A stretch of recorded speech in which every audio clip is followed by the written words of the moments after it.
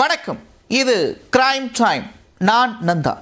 தருமபுரி மாவட்டம் வாச்சாத்தி வன்கொடுமை வழக்கில் இருநூற்றி பதினைந்து பேருக்கு தண்டனையை உறுதி செய்திருக்கிறது சென்னை உயர்நீதிமன்றம்.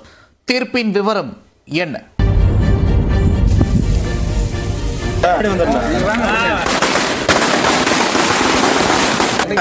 சார். இன்றைக்கு உலக நாடு முழுவதும் வாச்சாத்தி என்ற கிராமம் பேசப்பட்டு இருக்கின்றது.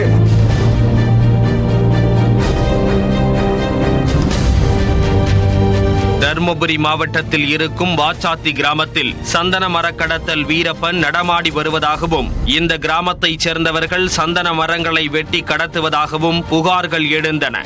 இது குறித்து விசாரிப்பதற்காக காவல்துறை வனத்துறை மற்றும் வருவாய்த்துறையினர் ஆயிரத்து தொள்ளாயிரத்து தொன்னூற்று இரண்டாம் ஆண்டு ஒட்டுமொத்த கிராமத்தையும் சுற்றி வளைத்து தேடுதல் வேட்டை நடத்தினர். சோதனையின் முடிவில் வாச்சாத்தி கிராமத்தைச் சேர்ந்த தொன்னூறு பெண்கள் இருபத்தி எட்டு குழந்தைகள் பதினைந்து ஆண்கள் என நூற்று முப்பத்து மூன்று பேரை கைது செய்தனர். இந்த வழக்கு விசாரணையின் போது வனத்துறை காவல்துறை மற்றும் வருவாய்த்துறையைச் சேர்ந்தவர்கள் பதினெட்டு பெண்களை பாலியல் பலாத்காரம் செய்ததாக புகார் எழுந்தது. மேலும் கிராம மக்கள் அனைவரும் அடித்து துன்புறுத்தப்பட்டதாகவும் அவர்களின் குடிசைகள் தகர்க்கப்பட்டு வீட்டிலிருந்த பொருட்கள் நாசப்படுத்தப்பட்டதாகவும் அவர்கள் குற்றம் சுமத்தினார்கள். இந்த புகார்களை அன்றைய மாநில அரசு ஆரம்பத்தில் மறுத்தது. பின்னர் இந்த வழக்கை சிபிஐ கையில் எடுத்து விசாரிக்க ஆரம்பிக்க பல அதிர்ச்சிகரமான உண்மைகள் வெளிவந்தன. சிபிஐ அதிகாரிகள் வழக்கை விசாரித்து நான்கு ஐஎஃப்எஸ் அதிகாரிகள் உட்பட வனத்துறையினர் காவல்துறை வருவாய்த்துறையினர் என்று இருநூற்று அறுபத்தி ஒன்பது பேர் மீது பாலியல் வன்புணர்வு உள்ளிட்ட பல்வேறு சட்ட பிரிவுகளின் கீழ் வழக்கு பதிவு செய்தனர்.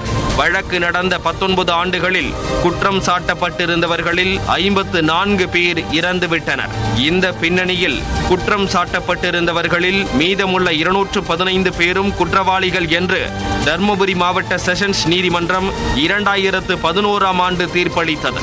அவர்களில் நூற்று இருபத்தி ஆறு பேர் தமிழக அரசின் வனத்துறை அலுவலர்கள் எண்பத்து நான்கு பேர் தமிழக காவல்துறையினர் மீதமுள்ள ஐந்து பேர் தமிழக வருவாய்த்துறை ஊழியர்கள் ஆவர். தர்மபுரி மாவட்ட செஷன்ஸ் நீதிமன்ற தீர்ப்பை எதிர்த்து சென்னை உயர்நீதிமன்றத்தில் மேல்முறையீடு செய்தனர். இந்த வழக்குகளை நீதிபதி வேல்முருகன் விசாரித்து வந்தார். அனைத்து தரப்பு வாதங்களும் நிறைவடைந்த நிலையில் வழக்கின் தீர்ப்பை நீதிபதி தேதி குறிப்பிடாமல் தள்ளி வைத்தார். மேலும் சம்பவம் நடந்த வாச்சாத்தி மலை கிராமத்தில் நேரடியாகவும் சென்று ஆய்வு செய்தார். இந்த நிலையில் நீதிபதி வேல்முருகன் வாச்சாத்தி வழக்கில் பரபரப்பு தீர்ப்பளித்துள்ளார். குற்றம் சாட்டப்பட்ட இருநூற்று அறுபத்தி ஒன்பது பேரில் ஐம்பத்து நான்கு பேர் இறந்துவிட்ட நிலையில் உயிருடன் இருந்த இருநூற்று பதினைந்து பேர் குற்றவாளிகள் என கடந்த இரண்டாயிரத்து பதினோராம் ஆண்டு தர்மபுரி மாவட்ட நீதிமன்றம் தீர்ப்பு வழங்கியது. அதில் பனிரெண்டு பேருக்கு பத்தாண்டு சிறை ஐந்து பேருக்கு ஏழு ஆண்டு சிறை மற்றவர்களுக்கு ஒன்று முதல் மூன்று ஆண்டுகள் வரை சிறை தண்டனை விதிக்கப்பட்டிருந்தது. தர்மபுரி மாவட்ட நீதிமன்றம் அளித்த இந்த தீர்ப்பை உறுதி செய்து உத்தரவிட்டுள்ளது சென்னை உயர்நீதிமன்றம். மேலும் பாதிக்கப்பட்ட பதினெட்டு பெண்களுக்கு தலா பத்து லட்சம் ரூபாயை வழங்க வேண்டும் என்றும் நீதிமன்றம் உத்தரவிட்டுள்ளது. பாதிக்கப்பட்ட பெண்களுக்கு அரசு வேலை வழங்க வேண்டும் சுய தொழில் செய்ய உதவி செய்ய வேண்டும் என்றும் அரசுக்கு நீதிபதி வேல்முருகன் உத்தரவிட்டிருக்கிறார். பாதிக்கப்பட்டவர்கள் இறந்துவிட்டிருந்தால் அவர்கள் குடும்பத்திற்கு இழப்பீடு வழங்க வேண்டும். இதில் குற்றம் புரிந்தவர்களிடம் ஐந்து லட்சம் வசூலிக்க வேண்டும் என்றும் நீதிபதி வேல்முருகன் உத்தரவிட்டிருக்கிறார். வாச்சாத்தி வன்கொடுமை வழக்கில் கோரிக்கை வைக்காமலேயே சிபிஐ விசாரணைக்கு உயர்நீதிமன்றம் உத்தரவிட்டதாகவும் குற்றவாளிகள் மீது இதுவரை தமிழ்நாடு காவல்துறை வழக்கு பதிவு செய்யவில்லை என்றும் பாதிக்கப்பட்ட மலைவாழ் மக்கள் தரப்பு வழக்கறிஞர் இளங்கோ தெரிவித்துள்ளார். மலை கிராமம் தான் தவிர மலை மேல உள்ள கிராமம் கிடையாது. ஃபுட் இருக்குது. அப்பொழுது இருந்த அமைச்சர் செங்கோட்டையன் அவர்கள் வனத்துறை அமைச்சரா இருந்தவர் என்ன சொன்னார்னா நல்ல சிவனுக்கு வந்து வயசானவர் மலை மேலெல்லாம் ஏரியெல்லாம் அவரால் போக முடியாது. அவர் சொல்ற சம்பவம் என்று நடைபெறவே இல்லை என்று மறுத்தார். ஆனால் ம- வாச்சாத்தி கிராமம் என்பது தரையில் உள்ளது ஒரு கிராமம் அது. It is not on hills it's on foothills அதுல வந்து மலை மலையினுடைய அடிவாரத்தில் இருந்த ஒரு விஷயம் இது கிராமம். மலை கிராமத்தில் சம்பவம் நடந்த பிறகு சுமார் பதினைந்துலேருந்து ஒரு மாத காலத்திற்கு ஒரு மக்கள் ஒரு கிராம மக்கள் கூட அங்க உள்ள இல்லை எல்லாம் மலைக்குள்ள போயிட்டாங்க. அரெஸ்ட் பண்ணவங்க மேல வந்து தான் வழக்கு தாக்கல் செய்யப்பட்டது. தமிழ்நாடு அரசு வந்து அப்ப இருந்த தமிழ்நாடு அரசு சாரி கிராம மக்கள் மீது வழக்கு தாக்கல் செய்தார்களே தவிர அதிகாரிகள் மீது எந்த வழக்கும் தாக்கல் செய்யவில்லை. கிராம மக்கள் மீது தாக்கல் செய்யப்பட்ட இரண்டு வழக்குகளும் உச்சநீதிமன்றத்தில் ஜஸ்டிஸ் அக்பர் அலி முன்னாடி வரும்பொழுது தள்ளுபடி செய்யப்பட்டது. அதான் ரெண்டு ஒரு முக்கியமான விஷயம் என்னன்னா சிபிஐ கேட்காமையே சிபிஐ ஆர்டர் பண்ண வழக்கு. எஃப்ஐஆர் இன்று வரை தமிழ்நாடக அரசு வந்து அதிகாரிகள் மீது எஃப்ஐஆர் போடாத ஒரு வழக்கு இந்த வழக்கு. அது ரெண்டும் தான் நான் குறிப்பாக சொல்லணும்னு நினைக்கிறேன்.